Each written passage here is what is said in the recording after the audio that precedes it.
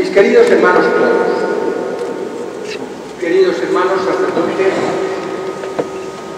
queridos formadores, seminaristas, el mayor, algunos que conozco de la diócesis hermana de Tenerife, y del menor, bienvenido, muy querido Adán. Hoy es una de gran alegría para la Iglesia diocesana, que todos vivimos con gratitud para con el buen pastor. Te ha elegido a ti, Adai, pero lo ha hecho pensando en todos nosotros. Te enriquece a ti con su gracia para que tú nos acerques el amor misericordioso y la solicitud de Padre como un vaso de agua fresca en las gargantas de nuestras comunidades, resecas por la escasez vocacional. Andamos pensando y calculando cómo responder a tantas exigencias y cómo organizarnos para atender tantas necesidades tenemos para acompañar a las gentes de nuestra diócesis. Y por eso el primer grito que hoy pronuncian nuestros labios es gracias, Padre. Gracias por hablar. Gracias por los seminaristas mayores y menores que caminan alegres soñando en celebraciones como esta para ellos. Gracias porque confiamos en que no nos faltarán jóvenes que escuchen la llamada de Jesús, sintiendo las necesidades de la comunidad cristiana y de la misión, para responder con generosidad con la entrega de su vida. Gracias por los hombros cansados de tantos hermanos sacerdotes de nuestro presbiterio que a pesar de los años y de la dificultad de la tarea, no dudan en seguir tantos jóvenes y menos jóvenes que redoblan la carga para llegar a todos. La palabra de Dios en el libro de los números nos acerca al corazón cansado de Moisés en un momento similar al nuestro. ¿Por qué haces cargar a tu siervo con todo este pueblo? Yo solo no puedo cargar con todo este pueblo pues supera mis fuerzas. Sí, a Moisés le pesa el pueblo, por el número y también por la debilidad del mismo pueblo, además de la suya propia. El pueblo es numeroso, pero al pueblo le cuesta aprender a ser libre. Le cuesta aprender a vivir pendiente de la guía de Dios por un desierto duro y difícil. Le cuesta no volver los ojos y el deseo del corazón a las comodidades de Egipto. Le cuesta sentir la lejanía de un Dios que parece esconderse en lo alto de los montes. Moisés tiene la enorme tarea de conducir a su pueblo, pero no solo físicamente. Su trabajo es hacer de un puñado numeroso de esclavos fugitivos un pueblo, una familia unida y un pueblo que sea pueblo de Dios, que tenga en Dios su guía y su referencia. El número, pero sobre todo la grandeza de la tarea, puede asustar y hacer vacilar y hasta quejarse a todos los buenos pastores. Pero esa es la misión. Ignacio de Antioquía recomendaba a Policarpo, el obispo de Esmirna que le había hospedado en su viaje hacia el martirio. Llévalos a todos sobre ti como a ti te lleva el Señor. Sopórtalos a todos con espíritu de caridad carga sobre ti, como perfecto atleta, las debilidades de todos. En realidad, solo uno, el siervo de Yahvé, ha cargado con todos y ha soportado las debilidades de todos. Todos errábamos como ovejas, dice Isaías, cada uno siguiendo su camino, y el Señor cargó sobre él todos nuestros crímenes. Y el siervo de Yahvé, Jesús, buscó y busca quien quiera compartir la carga con él. Busca quien quiera buscar con él la oveja perdida, encontrarla y cargarla sobre sus hombros para llevarla a casa. Y para eso, como hizo con Moisés, reparte su espíritu. El espíritu fortalece para llevar sobre los hombros al pueblo el Espíritu hace que las diversas ovejas y los diversos pastores sean uno solo. Como decía San Agustín, todos los buenos pastores son en realidad como miembros del único pastor y forman una sola cosa con él. Cuando ellos apacientan, es Cristo quien apacienta. Moisés llevó al Señor 70 ancianos al servicio del pueblo. En la nueva alianza, el Espíritu del Señor hace ancianos, presbíteros, a quienes cuentan menos años. No, Adai, no eres precisamente anciano.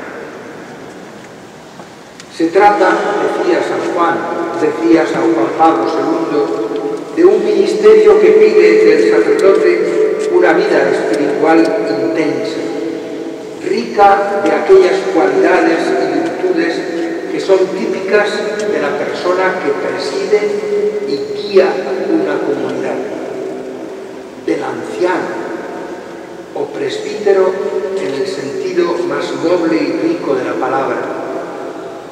Y continúa el Santo Padre, en él se esperan ver virtudes como la fidelidad, la coherencia, la sabiduría, la acogida de todos, la afabilidad, la firmeza doctrinal en las cosas esenciales, la libertad sobre los puntos de vista subjetivos, el desprendimiento personal, la paciencia, el gusto por el esfuerzo diario, la confianza en la acción escondida de la gracia que se manifiesta en los sencillos y en los pobres.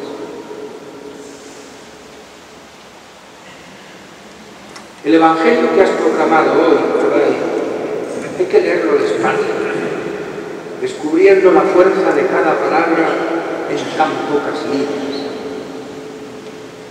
llamó a los que quiso y se fueron con él e hizo doce. No hemos sido nosotros. En el origen de la historia vocacional de cada uno hay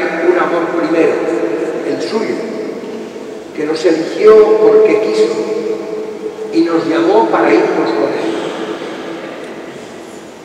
Ha ido recogiendo pescadores, el amigo y el hermano de este y de aquel. Y llega el momento de dar un paso más. Llamó a los que quiso y se fueron con él. Pero no cada uno aislado y unido solo a él. Hizo doce. Ni siquiera le pone sustantivo al doce. No dice hizo doce discípulos, doce apóstoles, doce, hizo doce. Es una expresión extraña en el texto original. Es evidente la alusión a las doce tribus de Israel, en esta expresión se da importancia al número como tal, al conjunto, como si cada uno de ellos, aunque enseguida serán citados singularmente con sus propios nombres, no signifique nada en realidad, sino por su pertenencia a ese número, a ese conjunto. Y así serán reconocidos en adelante los doce. E citará a veces el nombre de uno de ellos añadiendo uno de los doce. Así se hizo frecuentemente con Judas Iscariote y en una ocasión con Tomás. Después de la traición de Judas, se seguirá acentuando el sentido numérico del grupo, nombrándolo los once. Después de la elección de Matías, se volverá a la designación, los doce. Para nosotros hoy este hecho tiene singular importancia. Querido Alay, como cualquiera de los ministros ordenados que estamos aquí, tienes un nombre y una historia propios, que incluye tu historia vocacional, una historia de amor. Pero hoy empieza para ti una historia que te marca especialmente. Como nos enseñó San Juan Pablo II, el ministerio ordinado surge con la iglesia que tiene en los obispos y en relación y comunión con ellos también en los presbíteros, una referencia particular al ministerio originario de los apóstoles, al cual sucede realmente. El ministerio ordenado tiene una radical forma comunitaria y puede ser ejercido solo como una tarea solidaria. Al servicio de la Iglesia universal y de la Iglesia particular, constituye con el obispo un único presbiterio. Yo no soy obispo en abstracto,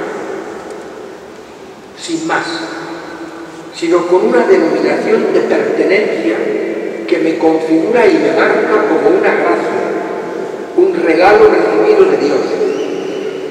Obispo de Canarias, con un presbiterio y con un pueblo concreto, y miembro del colegio episcopal que con Pedro y en obediencia a Pedro me compromete al servicio de toda la Iglesia Universal.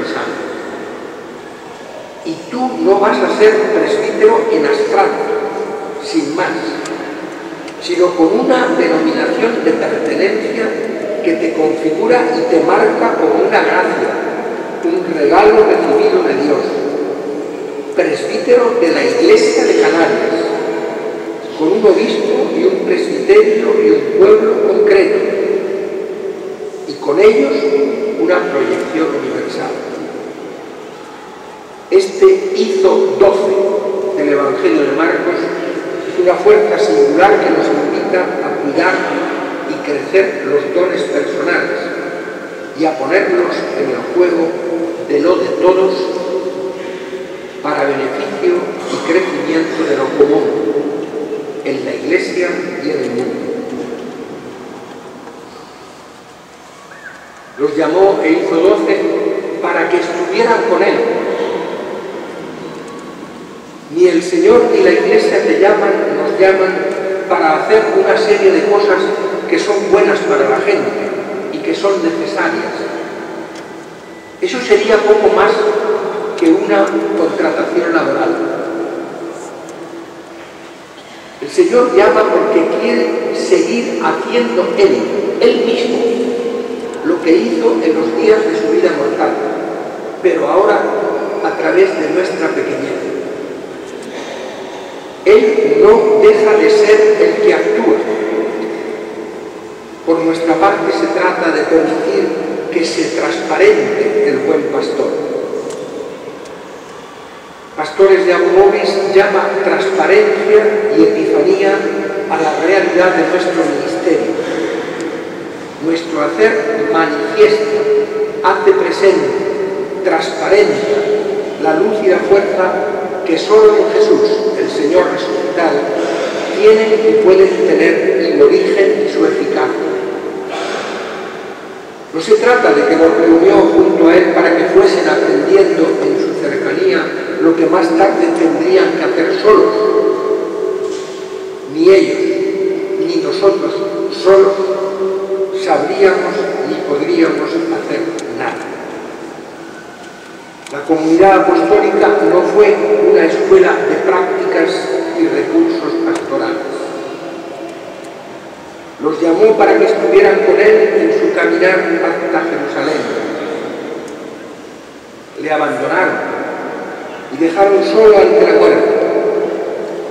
Pero el Señor resucitado los congregó en Galilea para que estuvieran con Él y siguieran con Él hasta los confines de la tierra y hasta el fin del mundo. Sería Él quien quedaría con ellos para siempre. Con ellos y con nosotros. Es esencial estar con Él. En medio de grandes preocupaciones y complicaciones de horarios, no puede faltarnos la conciencia de estar con Él y un tiempo constante de estar con Él. Para enviarlos a predicar. Es lo que caracteriza a Jesús. Para eso vino y para eso fue enviado por el Espíritu. Lucas en Nazaret nos presenta a Jesús hablando de la finalidad de su misión. Anunciar el Evangelio a los pobres, proclamar el año de gracia del Señor, o lo que es lo mismo, cuidar la higuera que no da fruto para que dé fruto, hacer presente la paciencia, el perdón y la misericordia del Padre, invitarse a casa del saqueo, sentarse junto a un pozo para esperar a la samaritana, liberar a la adúltera de la condena de los fariseos y de su propio pecado, sentarse a comer con publicanos y pecadores hasta que le llamen comilón y borracho. Jesús no solo inventa y anuncia parábolas de misericordia, es en su propia vida la fundamental parábola de la misericordia. Cuando reúne a los doce con él y cuando los vuelve a reunir y enviar después de la resurrección, lo hace para enviarles a predicar. No es solo para que aprendan a predicar o prediquen como él, sino para que él siga predicando por ellos, para que él siga haciendo presentes sus palabras y sus gestos la parábola de su vida toda en las vidas de los doce y en las nuestras. Con poder para echar demonios. Pareciera que cada momento tiene sus demonios, pero antes hay algo que nos identifica a todos, porque todos son hijos del Padre de la mentira. Los demonios, el demonio se caracteriza porque engaña, seduce y confunde. Y confundiendo y engañando con la mentira, divide, distancia, rompe los vínculos que el amor de Dios puso en todos hijos. Al demonio se le expulsa con la verdad del Evangelio y se le echa con el amor que reúne, acerca y fortalece los lazos de la filiación y la fraternidad. Hoy nuestra palabra y nuestra vida echarán los demonios de la indiferencia de la dureza de corazón, los demonios del individualismo y de la huida a la privacidad. Así haremos de la Iglesia un nosotros familiar, en donde se aprende cada día a convivir en la diferencia, a pertenecer a otros, a gozar en la transmisión de la fe a los pequeños,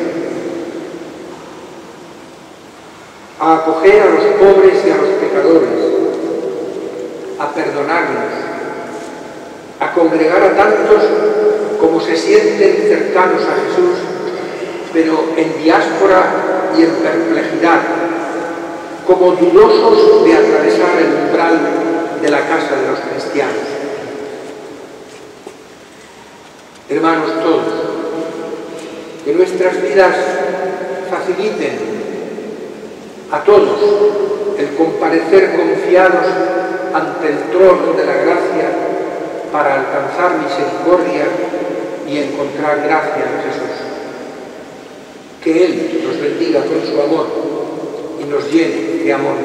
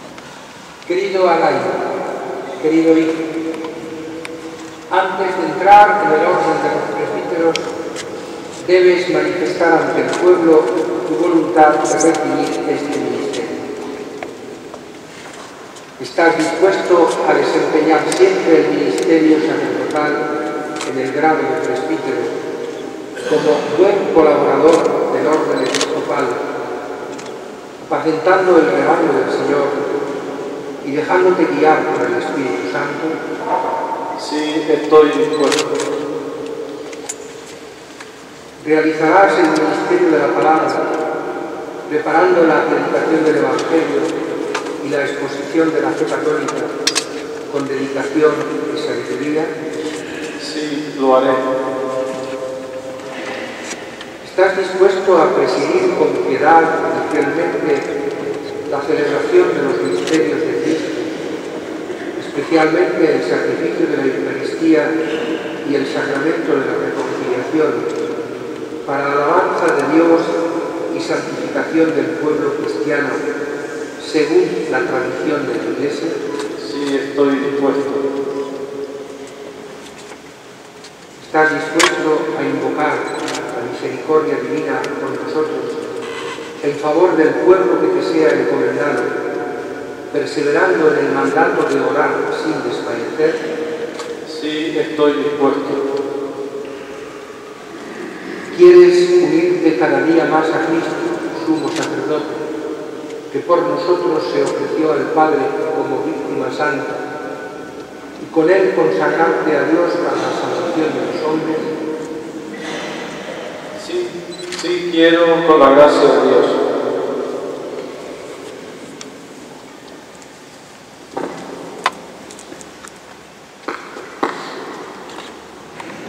Adai, ¿prometes respeto y obediencia a mí y a mis sucesores?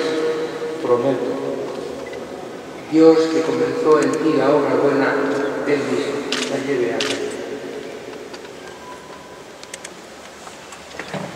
Demos en pie.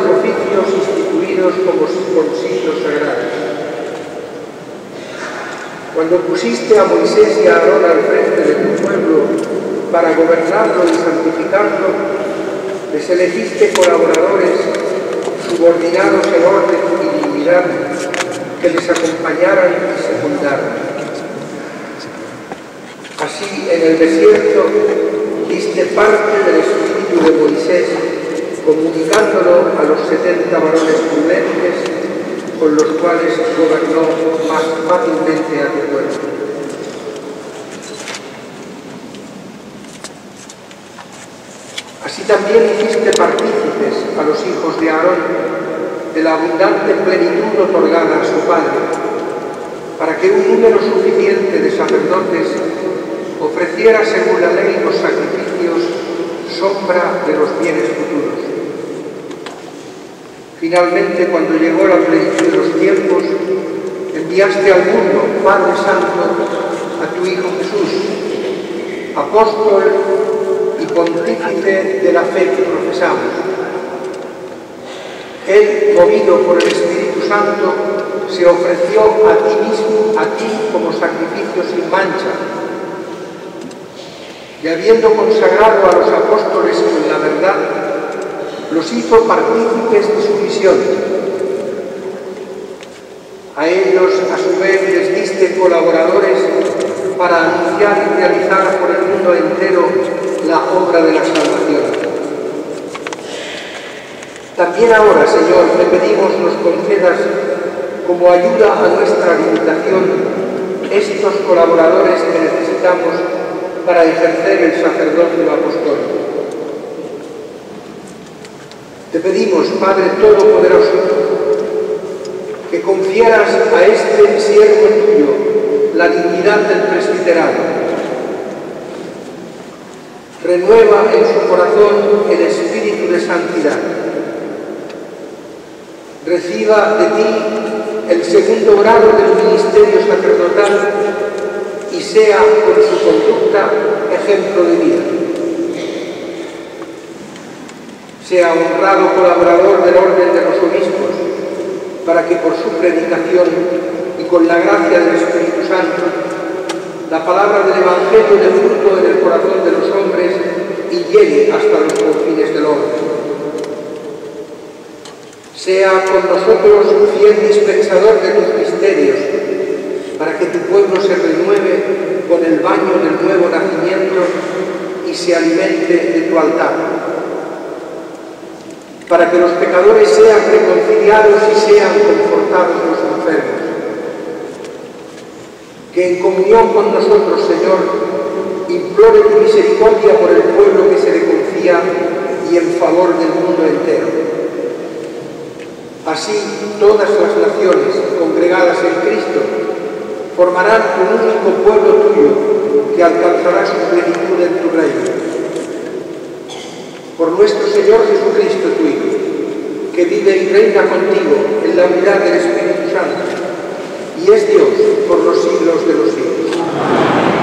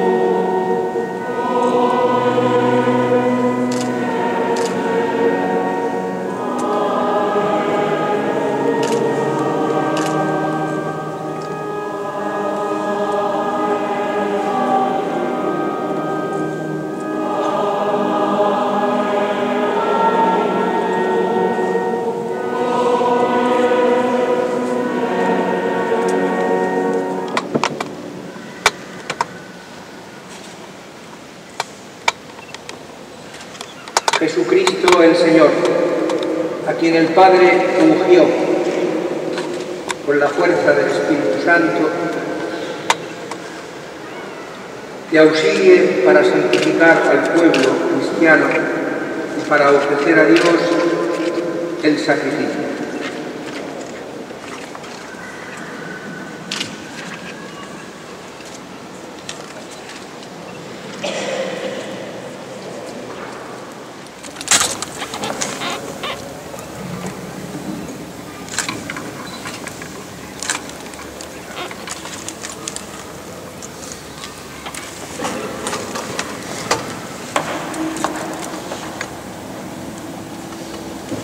Recibe la ofrenda del pueblo santo para presentarla a Dios. Considera lo que realizas e imita lo que conmemoras. Y conforma tu vida con el misterio de la cruz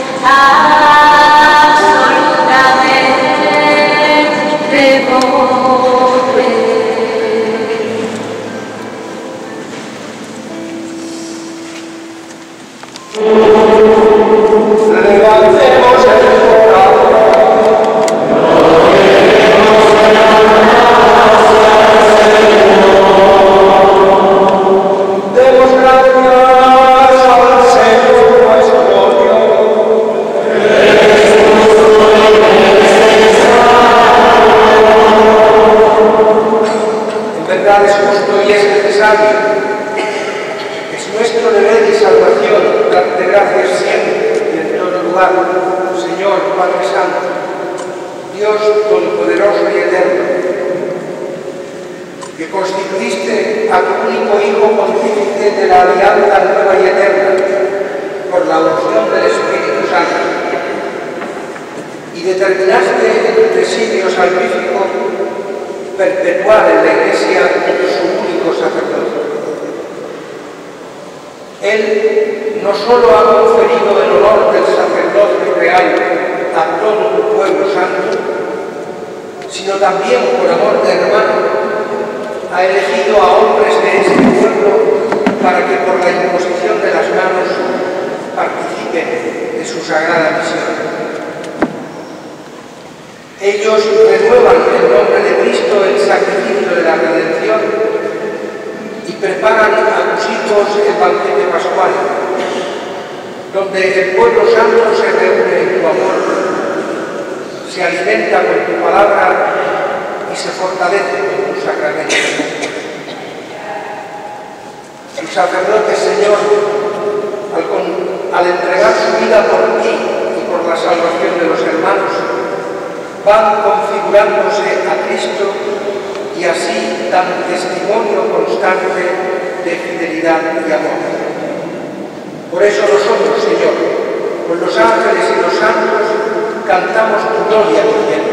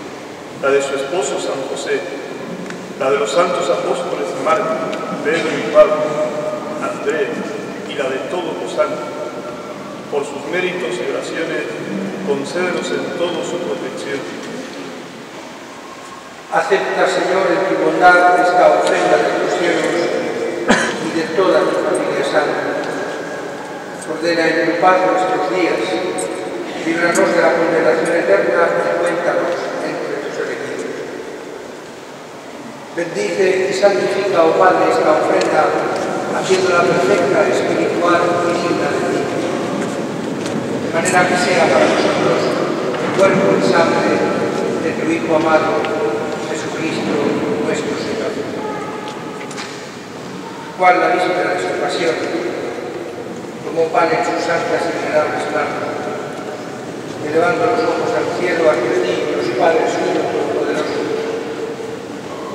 Dando gracias te bendijo, lo partió y lo dio a sus discípulos diciendo, tomad y comed todos porque esto es mi cuerpo que será entregado